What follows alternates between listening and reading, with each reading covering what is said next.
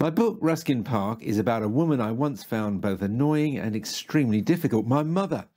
But that all changed when I cleared out her flat after she died, a one bedroom South London council flat where she'd brought me up alone. There I found an extraordinary collection of thousands of letters, just about everyone she'd received over a period of 50 to 60 years, and copies of many she typed both at work and to family and friends. They told a story of how in 1941 she joined the BBC in Bristol during the war and so loved it that in 1947 she left her husband because he hated her working at the BBC.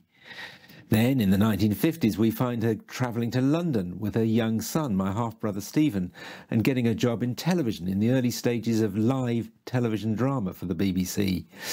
But my greatest find was this red box, which told of the affair she had in the late 1950s with the much younger BBC drama employee who was to be my father, a man I didn't meet until I was an adult. Inside the box, I found a note. It said, for Rory to read and think about in the hope that it will help him to understand how it really was. Well, writing this book has taken me on a journey, and I have really begun to understand how it was for the three of us my mother, my father, and me, and the crucial part played in our story by the BBC. I hope you too will want to come on that journey.